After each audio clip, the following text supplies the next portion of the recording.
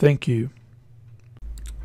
Hello everybody, my name is Craig Bennett and today I am going to get into how to make a home security camera server and this is going to be using either a current computer or a old computer being Linux, Windows or Macs.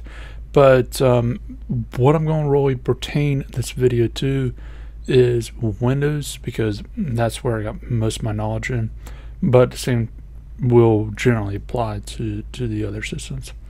Now, because this video is going to be quite long, uh, because I have to be very detailed, especially in the security part, then uh, please feel free to check out the timestamps below in the description, and that way you can just jump to whatever part that you need to.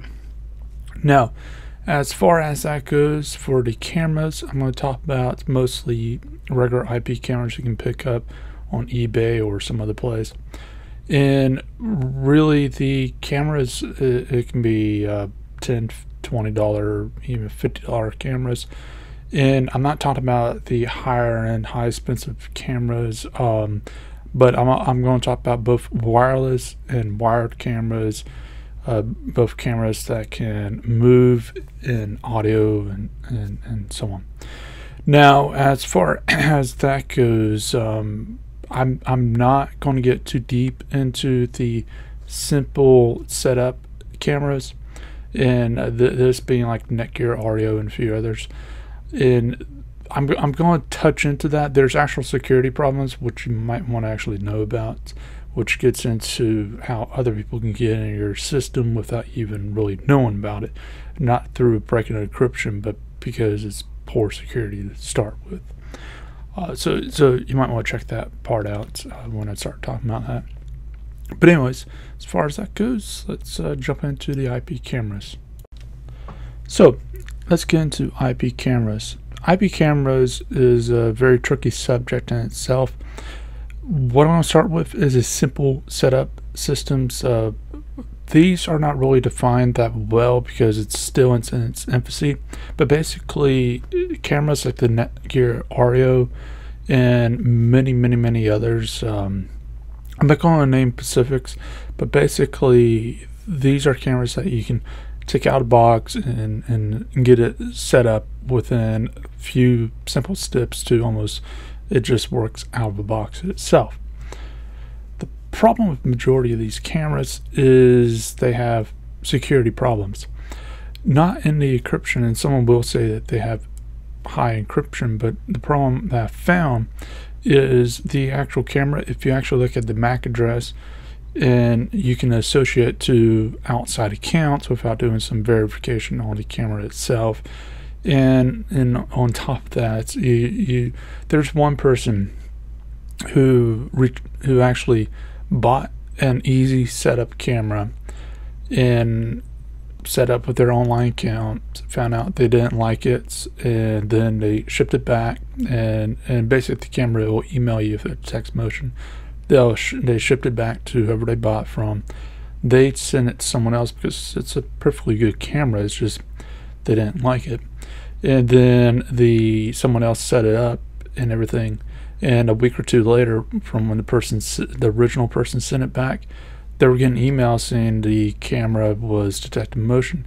Now they were confused because you know obviously they didn't have a camera, so they looked into it, and it turned out they were able to see th- the camera in the other person's house, even though the person in the other house had it set up on their own account.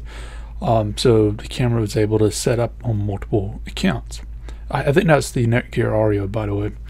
Um, that is supposed to be fixed within a couple weeks. Uh, basically, the person actually emailed the engineers.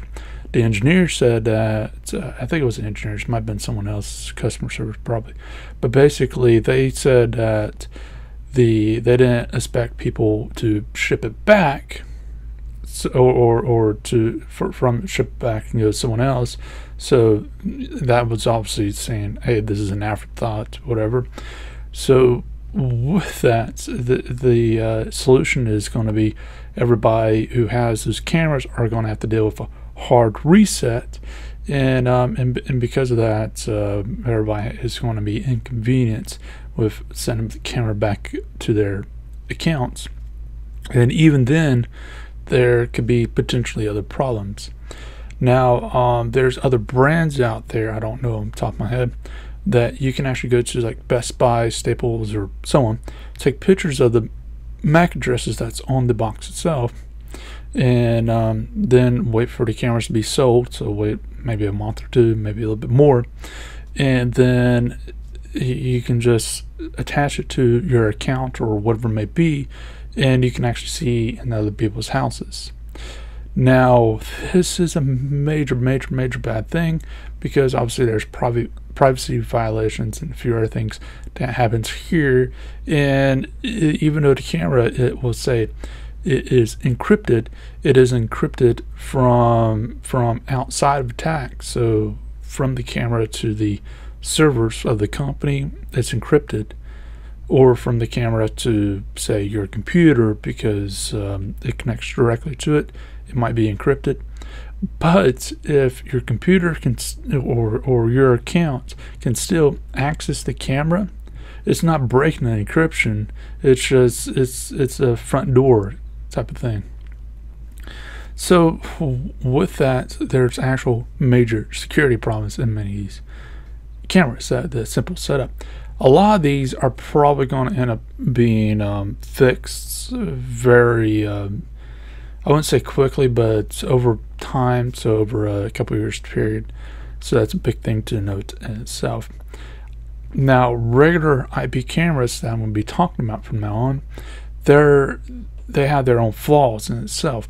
So one of the biggest flaws in, in regular IP cameras is it's easy to break into them. There's there's just simply not too much. Like I can do a brute force attack and get into a regular camera with fairly ease. Now, with that being said, the uh, many hackers, what they do is they try the default username and password and um, and try to get into it. it, it basically, when you pull up the camera, I, in fact, I got a video on this particular subject where they'll go in, scan a certain area, or or there will already be a list of known um, vulnerable cameras, and basically the person will go in and and um, put in the default information, so it's you know admin admin or whatever it may be, and then the person can get in and see and even control the camera, listen and and screw up stuff majorly, and even change the password so you can get into your own equipment, but they could if, if it's hooked up back to the network. So with that, uh, you're you're not out of the clear with these other cameras. You do need to change the username and password, and I would suggest doing some due diligence on it. Uh, my my best advice on it is if you can afford a service like LastPass, then get it and use its password generator and, and store the password within LastPass. And that way you can figure out what is a password so you can go back to it. You don't have to write it down or whatever, so you don't have to worry about losing it. But you can have a really difficult password uh, that a dictionary uh, brute force dictionary attack will not be able to be successful at because it just wouldn't have this stuff. So what you do is you you can use something like that and it will make it a bit more secure. So it, it takes it on your hands to, to do that. And um, if it's a camera, if it's a camera for a store, I would advise against this. But if it's a camera for your home, then you can write down the password on the camera itself, like on the bottom of it or whatever, in case you need it. Uh, that that's, that's that's an option because if the person has physical access to the camera itself, there's problems. But if it's like in a store or something, if it's hanging up there, the person might be able to see it, so you got problems with that in itself. So if it's in your home, then obviously you got problems in itself, and and you don't, you know, you got bigger things to worry about. So um, let's get into the different types of cameras and let's get into abbreviations first. So there's PoE, Power over Ethernet. We'll get more into this in a while. There is PTZ, Pan, Tilt, and Zoom. And basically what this usually means universally is the cameras they um, they should be able to move on their own um, uh, through software, obviously, but they should be able to move on their own. And then you have night vision and, and, and some other stuff. So let's get into the, and, and by the way, the night vision, the PTZ, P, PoE is is universal as far as if it says PoE, then it's power over Ethernet, and and it, it works where where you can power up the camera through the Ethernet. I'll get more into this in a second. PTZ and night vision, it's iffy. Uh, so what I found is some because there's no universal. If if it says night vision, if if it's um, I forgot if it's active or passive, but basically there's one type of night vision where it's always on and basically this actually washes out colors um, it makes blacks actual like uh, jackets and whatever that are black um, and, and, even trees and stuff look like it's purple especially when it gets a little bit brighter um, and and this just simply doesn't give you the true color of things. But you might not care. It might not be as much of a problem as you may think. Uh, but uh, but if you want something a true color, basically what will happen is you'll have a filter in in uh, when the light sensor detects on the camera when it detects the lighting conditions gets below a certain point, the filter will click down and you'll actually hear a click. Um, and and what would happen is from there on it will use the night vision and then when the light brightens up a bit it'll flip up. So that's pretty important in itself. But uh, the PTZ, what I found is some some manufacturers they say PTZ, but it's not. So you might want to do some research onto the camera itself.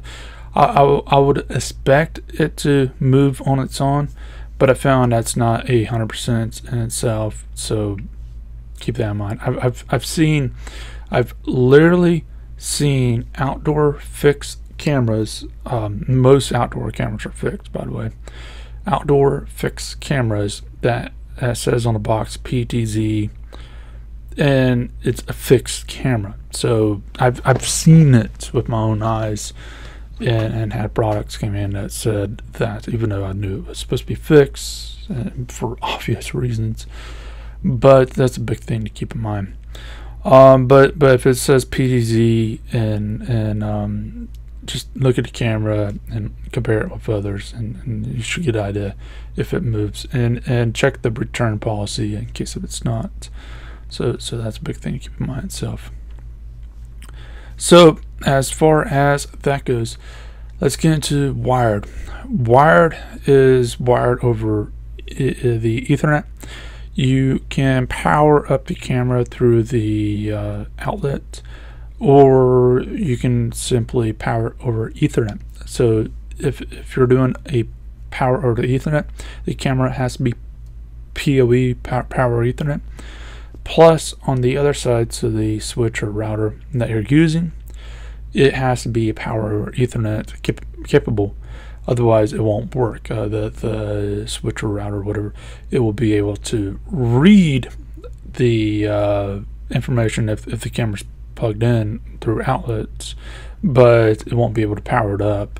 So with that, um, you, you need to make sure the camera is power over Ethernet, plus the switcher router that you have is power over the Ethernet. Um, it just takes a little bit of research to look at the model numbers and stuff like that um, for your switching router. On the camera itself, it just say on the box or, or online, and uh, that way you can get a good idea if it is. So power with the Ethernet, why is that important? Well, basically, if you're going to wire the system what's going to end up happening is you need to um, you need to basically have it to the point where uh, where you can set up anywhere that you need. And if it's uh, power with ethernet you don't have to worry about outlets. And um, and if the ethernet goes out um, the ethernet cable goes out then basically you're not going to get signal and you're also not going to get power but you're not going to get signal. So you're going to get a, uh, a fault right there. So that's a big thing to keep in mind is is with that. Um, now with that um, would I say get a camera that's wired? I'll say yes because it's more secure. Because what happens with a wireless I can take a five to ten dollar or, or even a twenty dollar jammer or make one. It's not that hard to make one. Like it would take like 16 cents, literally 16 cents and some random parts, and I can make one with with pretty good ease. Um, but anyways, uh, basically I can make a jammer and uh, a, a low end jammer and or, or buy a decent one and basically I could jam the signal for a wireless. So yeah, you got wireless cameras, but you can't record anything because I'm jamming the signal. So that's uh, pretty important to note. Uh, it, and and you can pretty much pick up a jammer fairly. Look it up online. You, you can pick it up pretty easily. Uh, now, as far as that might the thing to keep in mind is it is illegal to use a jammer. Um, uh, so, so you might want to check out the laws in your area for that. But again, you can pick one up fairly easily. So, the one thing to keep in mind with the um, with that is is more secure because the data is being transmitted through the cables, and that cannot be jammed as easy. It can be jammed with what's called electromagnetic interference, but basically at that point there's not much you can do unless you have fiber optics. Um, and, and, and the realistic chance if you're going to have electromagnetic interference, uh, that that will completely wipe out signals that will jam your, your entire stuff. It's it's virtually non-existing because just look up how difficult it is for that to happen. Usually, you have electromagnetic interference when the wires are necked and, and, and, some other stuff. There's insulation, there's there's coating on the wires to prevent electromagnetic interference because it would naturally happen. But uh, basically, um, if if if someone had that ability, you got bigger problems than, than you really think, and it's probably a nuclear bomb that caused it. So yeah. Um, now, as far as that goes, so it's safer, but the reverse of it is it's it's more of a permanent area because you will either have to run cables out through your house, and this is a problem in itself because what happens is um, if you're renting a place or whatever, you might not have the ability and uh, if, if it's an odd place, you literally might not have the ability to run cables. Like you don't have the tools, skills, time, whatever to do it. So simply, it might not be an option. So, with that one in mind, um, it has downsides with that, where where it's really for permanent uh, places, and also you have to wire the house, obviously, or have the house already wired in the locations. So it, takes a bit of planning. If you're going to go with doing one of the two things, I'll say run conduit out through your walls if you're building a house because wired solutions is a lot better. But again, it takes a lot of planning to figure out this one. And there's uh, one thing I forgot to mention is two, two things, in fact, uh, before I, I completely forget. The uh, PTZ, I have even even the 100 200 dollar cameras i've never came across a camera that uh, on its own it will be able to track an item, uh, an object. It, it, will have a motion detector and whatever, but it will won't be able to track it for whatever reason. I, I never came across a camera that has done that or had that ability. But the uh, second thing is uh, I already forgot about it, but I'll come back to it see if I remember. So as far as wireless, wireless has its advantages, and one of the biggest advantages to the wireless is you can move it about and with it um, you don't have to worry about wiring the house itself if you're renting a property or whatever it may be. You don't you don't really necessarily have that big of a problem with that. So you got freedom as long as the camera is powered up and connected to the the Wi-Fi that your system is with. The there is a few other benefits with it um, that gets into mobility but one of the disadvantages with it is um, you you um, will have a limited amount of cameras you can put on a Wi-Fi system before it degrades the entire network. Uh, basically, what happens is is um, a Wi-Fi network can only support up to so many devices, even though you can fit like 250 something devices, 254 devices on the network. The problem is is uh, physics. Uh, I got into past videos on this, but basically physics. It says that um, by the time the uh, the the camera it, it comes back around to talk to the camera what happens because the, the Wi-Fi system can only talk to one device at a time. By the time it gets back to the camera, other things may time out because the camera's uh, too too slow, too far away, and whatever. Plus, on top of that, the entire network slows down to the slowest device on it on a Wi-Fi system, not not a, a wireless or, or not a wired system. So it's pretty important to note that where a wired system, you can get away with having more devices, but uh, you can also get away with the it, it, not slowing down the entire network. Uh, unless if you got like a couple hundred things, which is probably not going to happen. But with that, the uh, with a wireless system, once you get up to about um, 10 cameras, 20 cameras, depending on your wireless system. It, uh, it, it simply cannot maintain its integrity.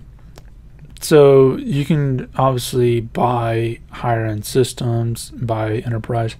And one thing to keep in mind, I'll get more into this in a router, but basically a router, a home router, is a mixture of a few things on enterprise put together for a very cheap price and that's really where that problem really comes in play. But um, there's ways around it. Um, I'm going to talk about it in a bit, but basically, it's just a note that if you're going to have quite a few cameras on the system, you will end up running into some problems um, sooner or later. Now, with that being said, is a lot of cameras that will have a record on motion and you can save it to an SD card and even transfer it to an FTP server.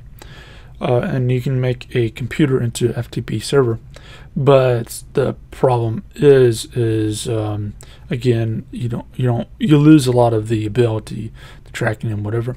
But it doesn't degrade the entire network itself.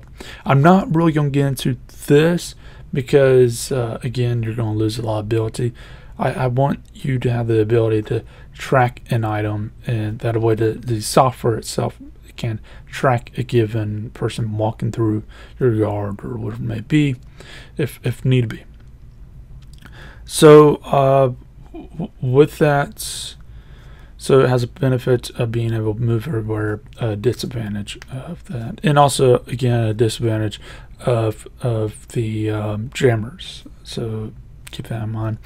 And if you're if you're going to be using this as a um, bank system, go for wired uh, stores, wired uh, home. You can probably do more of the wireless unless if you live in a odd place. But overall, say wireless for for homes because uh, the chances of some robber having a jammer is is fairly low. Mostly because most robbers are too dumb to to really even you know think too much about the best way to go at it. But um, if if a robber is prepared, then yeah, they, they can really mess you over with a wireless system. So keep that in mind. But um, yeah. So as far as the um, that goes, let's go into the uh, the the router side of things. So as far as the routers, they're interesting itself, and it's going to take a lot of research on your end. I'm just going to try to point you in the right direction. But one thing to note is if you're going to look at your current or future router, look at the make and models and look up the max device capability for the wireless. If it doesn't list it, which they're pretty good, there's a pretty good chance that it's not going to be listed. Go ahead and go on on the, uh, the whoever makes a device, email them and ask how many devices at max does this um, does this Wi-Fi router support? What was it rated to? If they say something like 250 whatever, then they're blowing smoke up your tail. Uh, fact the matter is is uh, you you really ain't gonna get that.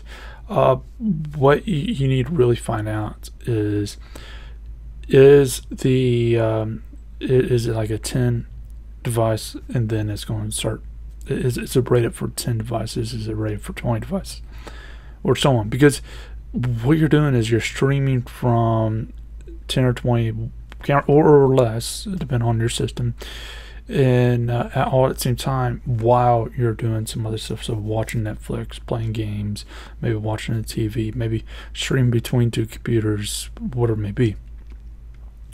And this is where problems really come in play. So if we go in here and we go and make two routers so basically we have our two routers. So we've got router one router 2 and from here we go down to our modem and that goes out to the internet. Basically you connect the router 2 to router 1 connect the if, if, if you can do it wired that's best connect the computer it could be a Raspberry Pi. It's fine. C connect the computer to the that that you're gonna have the surveillance stuff on on the router two. And connect the cameras on router two. Now, as far as the um, router one, what you're going to see is something like. Um, let's see if I can pull it up on here. Now, as far as this goes, I'm gonna be using my router as an example. This is obviously my primary, but say, let's just say it's my secondary. So ignore this. But um, what we're going to do is say the primary is 192 IP, and this is the IP address 168 point one point one at a um, let's say a slash uh, 24 so it's a class C uh, and that's a 255 255 255.0 um, subnetting. The secondary Wi-Fi is 192.168 point two point one slash twenty four, which is again the default that you're gonna get in most computers and stuff. Um, and and then from here, what happens is on your internet, um, let's say router one, router two, it's connected to whatever port uh, wireless uh, wire connect to router one, and down out here it goes out to the internet somehow and through modem or whatever. Basically, what happens here is you need to trick the router 2 to saying that this is is the internet and um and what happens here is you're you're trying to give this a stack IP address? So you're saying that um, the IP address should be whatever put in whatever within that last box just make sure it's not taken up by another device. So what I would advise something like 250 or 254 or something like that, some some high number, and that way you don't run to a uh, you have a lesser chance of running a problem. But um, you know, slash 24. So this is the slash 24 to 255 address, the uh, subnet address, and then this since this Wi-Fi router is that. Let's change color on this still green. So it's the Wi-Fi router is this is, is basically what you're looking at is um, a 192.168.11 address. And what router 2 is going to think is that's the internet. That's that's um, the interface for the internet. And um, and it'll say it's whatever. And um, on the inside, the the uh, router two it will give everything within it that address. So that's pretty important to note in itself. Um, and and you can even continue this loop down a row by doing this trick um, if you got more Wi-Fi routers and whatever. But I advise against it because you're going to get into you're going to jam your own stuff. But uh, with that, that is an actual possibility if you wanted to go down that route for whatever reason. So that's a pretty important thing to note in itself, where um, you need to basically have it where the router 2 thinks router 1 is the internet. Um, and router 1 will take care of its own thing. It will say that this appliance is like 192.168 uh, 1.254 and um and it will basically feed it like like any other device. Uh, since it'll be wired and everything. And um and it's on the same subnet and everything else. So with that basically that's that's how I get around it. And what happens is everything on the router one Wi-Fi, it uh, it doesn't get de- ha- having de- degradation. Sorry, it's hard word. Uh, degradation on it because all the cameras are on the secondary Wi-Fi, and uh, basically what this just basically means is um, if you want to use the secondary Wi-Fi as your main for whatever reason, you will start having some major degradation on there. Um, so that's a pretty important thing to note. Um, you may be wondering, all right, what about the data going through the Ethernet ports, the uh, port from 2 to 1, and then even 1 to the? Most of the time, those are gigabit ports. Um, so don't worry about that. You're not going to hit that. But uh, but basically, it's pretty important to note this. And you might be saying, okay, I, I just don't want my system to be on the internet at all. This gets into something very important. Say I am a thief. One of the things I'm still is computers and maybe security camera stuff because there is money in that and stuff like that Um, and okay, you set up, you spent weeks, months, whatever, setting up this, doing the research, whatever. And you got the system like you want. It took you a long time. Someone comes in, breaks in your house, steals the the uh, computer that you have the software on, or even a the if you bought went for the higher end stuff, the DVR boxes.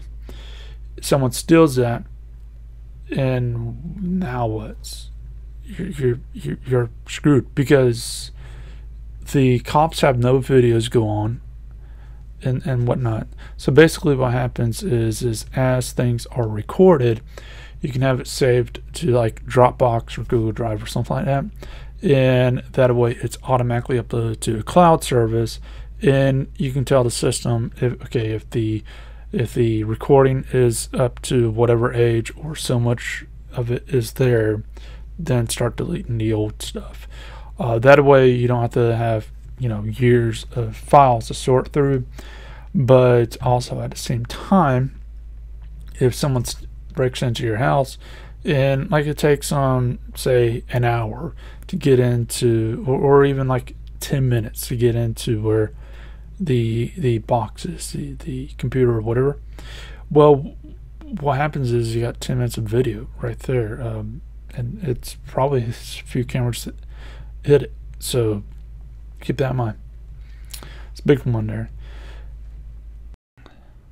So now let's get into the operating systems and the computers. Um, I'm just going to touch on this lightly because all operating systems, even server operating systems, have some software that they can use. I'll be doing iSpy, and and that's mostly on Windows. I I, I forgot if if they have it for other operating systems, but I know it doesn't work that well with Windows Server operating systems. So note that. But you can you can use something like a Raspberry Pi, because what happens is let's do uh, drawings again. Um, yeah, that's that's line enough. So basically, you can use a Raspberry Pi. That uh, let's say that let's use a bright color like yellow or white. So you got a Raspberry Pi. Uh, you got a router. The Raspberry Pi is hooked onto it. Um, it's obviously going off, doing its own thing from there. Um, what happens is is the Raspberry Pi just needs enough on it to run the software. And something called a KVM and basically what that is is a um, it, it's a, it's a wireless KVM what you're looking for. Multiplicity is what I use. You might find some other options out there, uh, even probably some free options. But a KVM allows you to use one mouse, one keyboard, uh, one monitor, two monitors, and um, you're able to switch between multiple computers. It, that way, you don't have a bunch of monitors, uh, a, a bunch of keyboards, a bunch of mice, and so on because um, uh, you know that's that's just inefficient. That's, so you don't have to switch over. A wireless KVM, however, is something a little bit extra. You can have that, but as long as you're connected to the same Wi-Fi router, Wi-Fi router, so not the network. Uh, very important note that. Basically, you should be able to control the other device as such, so you don't have to have a physical connection there. I like I like wireless KVMs a lot because it, it that way I don't have to run down to where the security camera server is. I don't have to fiddle with it, get it updated, play for five minutes, and run back up and whatever. It uh, makes it a lot easier. I can just control it right here. So if I'm, I just want like someone knocks at the door, I can pull up, real quick. Say, okay, a mail person's at the door. Um, I'll deal with it later. I'll drop off package there. Or someone's at the door and it looks like it's important. then I can take a look and say, okay, I'll be there. And and and, and even if I have a, if um, I got a camera where the door is, and it works with the software as far as the audio in and out, I can even talk over the camera and say, hold on, I'll be there in a minute, and the person be can go through that. So uh, with that, basically, what you're really concerned with with the Raspberry Pi is can it i'm not going to write this can it um, work with the security cameras in the security camera software specifically the security camera software next is can it send out to the internet so like going through dropbox or google drive and, and, and maybe even allow you to remote in so does it have an Ethernet port and whatever? And chances are yes, then yeah, that answers yes. And lastly, um, can it do both with enough processing and, and whatever? You can you can throttle a lot of these softwares. So if, if that last one is iffy, you can you can make it a yes most of the time. Uh, basically, uh, just just look at the minimum required on the software, whatever you choose to use, and it should tell you what what what you can and can't do as far as what is really needed. But um, basically, you're looking at those three major things, and and with that, Raspberry Pis for the most part should be able to do that, and as long as the Raspberry Pi is plugged in, the software's on it, everything's set up correctly, you can let it run and and let's do its thing. And for those of you who don't know what a Raspberry Pi is, it's basically a computer the size of this uh, business card. So with that, it, it's there's bigger ones, but for the most part, that, that's really all you need. And um and most of them run, or, or you can get them to run a rundown version of Windows, which should be fine. Should be fine. I'm not, I'm not going to get into it because I never tried it myself. But um, if the big thing to keep in mind is you need to keep the operating system, but specifically the computer, on at all times because obviously it won't work if the computer's off. It's like, can I make calls? Sure, on a phone, but uh, can you make calls if the phone's off? No. So even with that, you know, common sense should tell you the thing needs to be on. So if there's any question about that, you might want to check your common sense and and, and do that. So uh, with that, let's go into the uh, next phase into this. Let's talk a little bit more about the IP cameras and specifically the settings on them.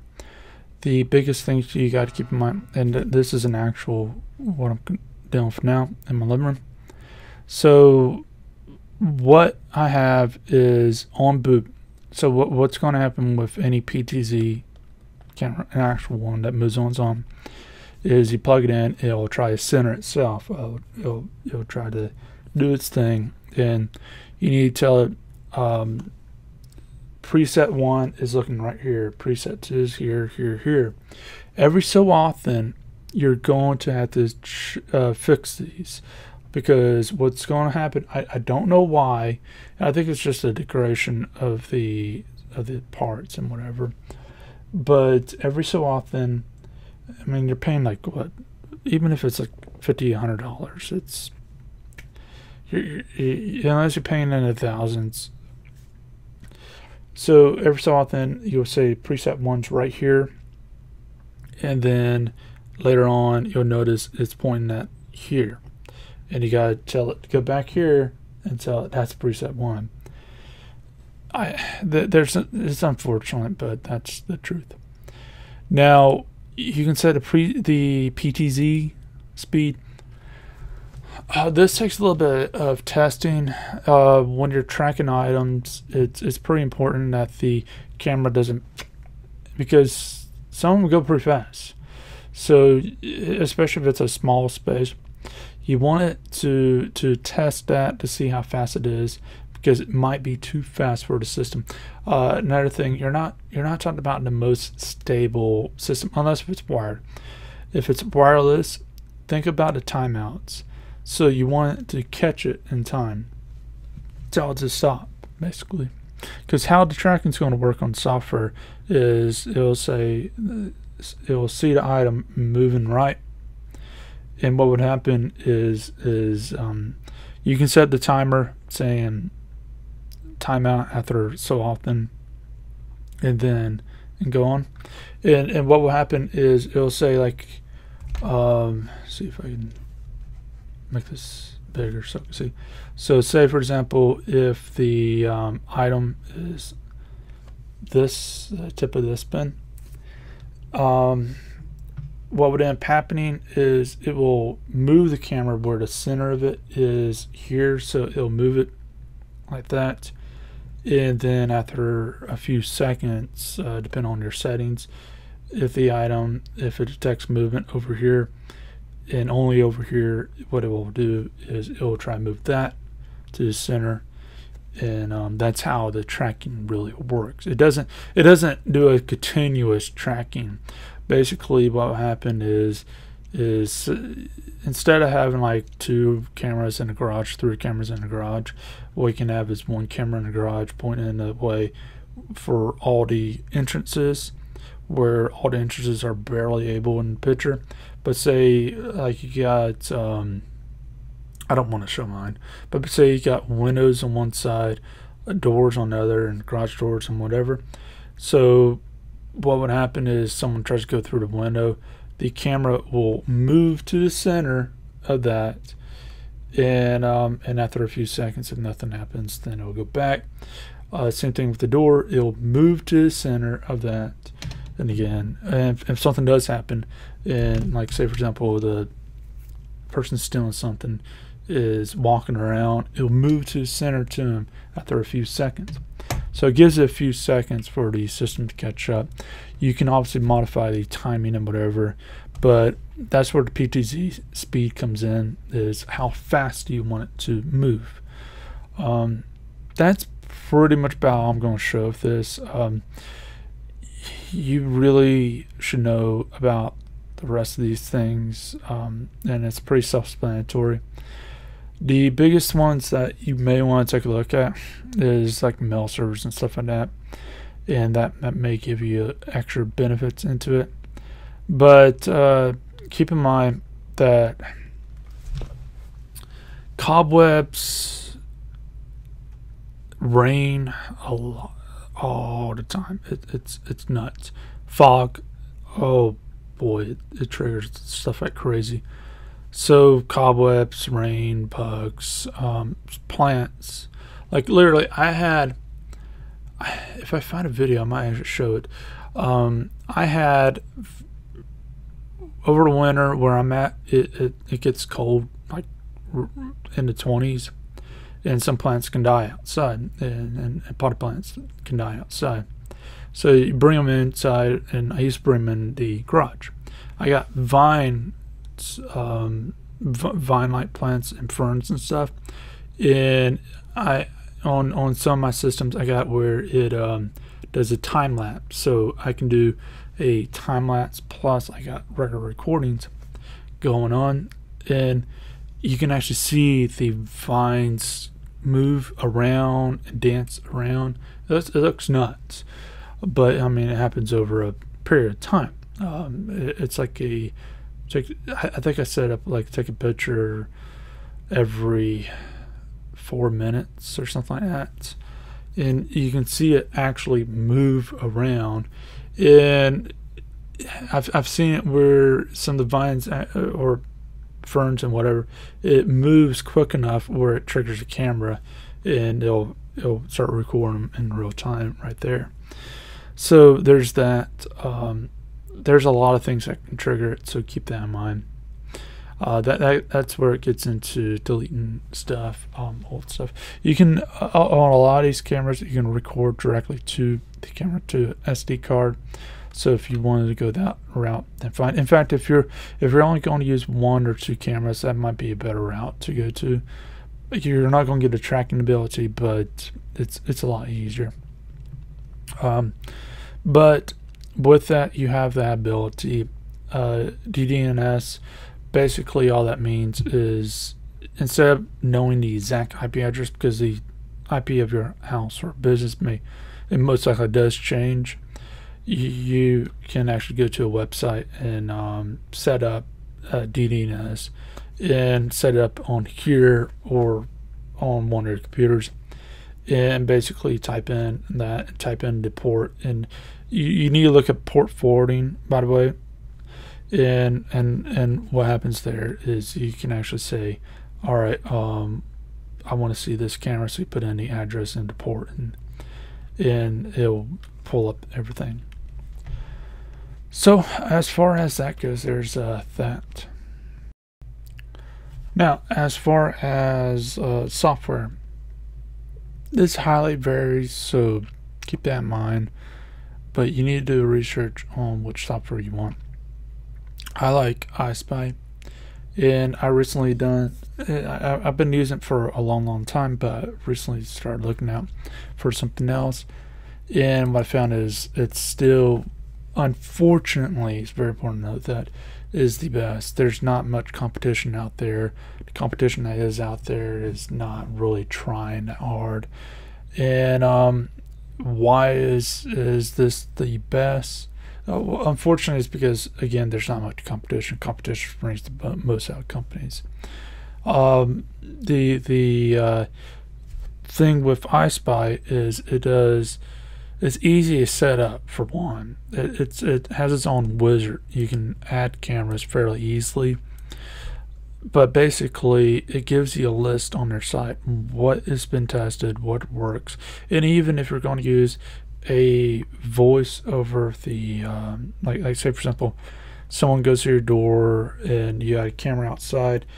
Um, which camera works with the audio, which doesn't so you even have that ability in itself.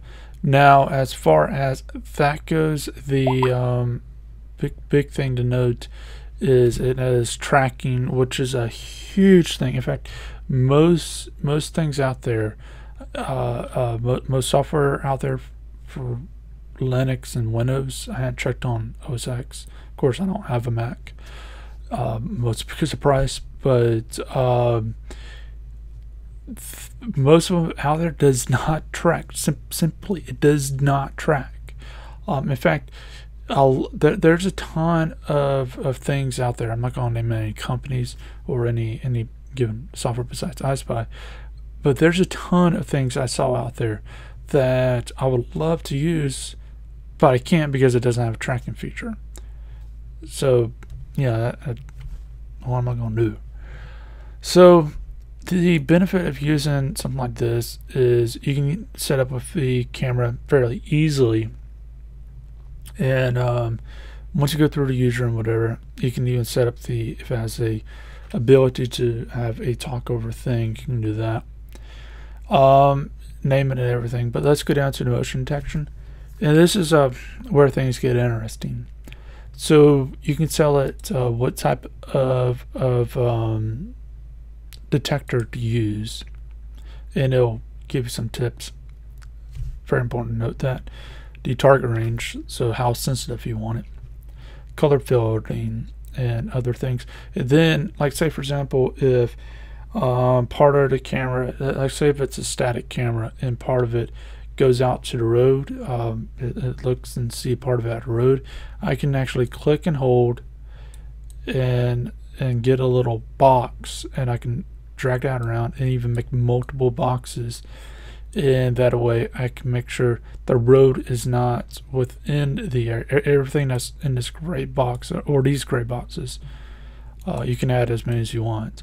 Um, anything within them that will um, trigger uh, so so something goes in this area and it's moving around it wasn't there in, in previous frame or so then basically what I'll say is okay that uh, I think something was moved around there um, and then if it's a if it's a um, moving camera, it doesn't work as well.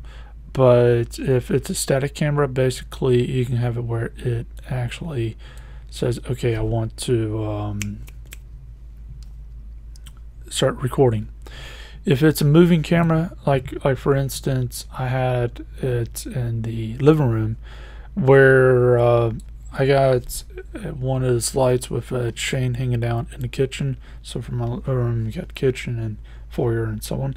Basically, what happens is the chain it moves around because of fan once in a while, and that triggers the camera to start recording and, and even uh, turn the camera itself to the chain and get stuck on it for whatever reason. Well, in order to avoid it, say for example, if a dog goes in my room and tries to to take a crap or whatever, I can catch them without worrying about it. So the camera can actually move down and see which one done so I know which one to discipline. But uh, or, or someone tries to go in and steal something, I can see. And basically, what would end up happening is I can have that uh, um, camera go go to a given area um, after recording or after no motion, and um, and then um, ha have that chain or whatever where it's not grayed in. It's pretty important to note that. So uh, with that, so you can do that. Um, let's go to alerts. So right here, you can actually say uh, on movement or on no movement. Um, and then one movement is done, do whatever and set intervals and all the other stuff and, and even tell it what to do from there. So you can do that. And let's go to the PTZ. So if you select your actual camera type, you can get a list and you can tell it to track object, any directions or whatever, and go auto center and and do this. And this is where the it goes back to preset one or whatever presets and and goes from there. So it's pretty pretty important to note that um, and when you do that. Um, it, and right here you can if, if, if you had the camera up or if I had the camera up I can play around with it and move it around from here if, if I have it on the right one. So and and and on the wizard, it, you can actually set it up on the right one uh, fairly easily, uh, just with model and whatnot. And it'll it'll detect and it'll help you out with that as much as possible. And go down here, you can see scheduling, whatever. But the biggest thing I want to mention is a lot of programs out there, they don't have this ability where you can block out an area and say, I just I don't care about anything outside this square area. I just want it to know that something moves around in this area. So a lot of them, you don't have that ability at all. Um, a lot of them, a lot of them. In fact, there's only probably about one or two I know off the top of my head, including this, uh, this, and maybe something else that has a tracking ability. Yeah, it's it's not. It has a PTZ ability, but no tracking. So yeah, that tells you a lot, a lot, lot about that stuff. But anyways, as far as that goes, this is the biggest thing right here. So again, what you want to do is have it where it stores all the stuff to your Dropbox or whatever. So from there, if some again robber steals the computer itself, you don't have to worry about the uh, the, the the stuff being lost. Now, as far as some extra stuff. So going again, um, you need to have your device, whatever you have it record on, to have the ability to to um, stay on all the time. And one thing you got to keep in mind is what happens on the power outages, even if it's a short time. Well, on on many systems on the BIOS, you can have it where if power goes out and the power comes back, then automatically turn on the computer. Um, it, I'm not going to show you how to do that because the BIOS from one computer to, to one device another can be quite different. So check to see if, if you can do that um, by going into BIOS. And keep in mind, uh, don't mess with things you you're not familiar with uh, with the BIOS because it can really mess up your computer. But uh, it doesn't hurt to peek at it, um, especially if you're not really going to mess with anything. But let's just say something like power or whatever, power on boots, uh, what mine says. And that way, when if the power goes out and then it comes back on, then it, it uh, cranks up on its own. Now, um, another thing is you obviously need the software to automatically turn on by itself because, okay, device updates, it restarts on its own. You, you shouldn't really have to worry about that. You should set it up where the operating system restarts on its own. So Windows 10 is actually a pretty good thing for this, believe it or not. But it restarts on its own. The um, antivirus and all that stuff should update on its own. The operating system should update on its own. The computer should restart on its own when necessary. The uh, cameras itself, uh, what I found, if, if you're going with the cheaper end, buy timers. It doesn't have to be expensive. But basically, what I found is sometimes the cameras, if, if it's wired, it shouldn't really get stuck. But wireless, I found it sometimes gets stuck. So you might want to buy some timers and just have it every day. It turns off for, you know, a short amount of time as possible, but basically resets the camera back to going back to wherever.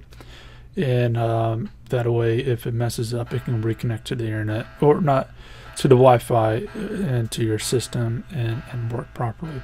Ho- hopefully. So that's a fairly big thing, and, and it's really more for the PTZ cameras. I, I hadn't really had much of a problem with the with the static cameras, but I, I still would advise the same thing for static.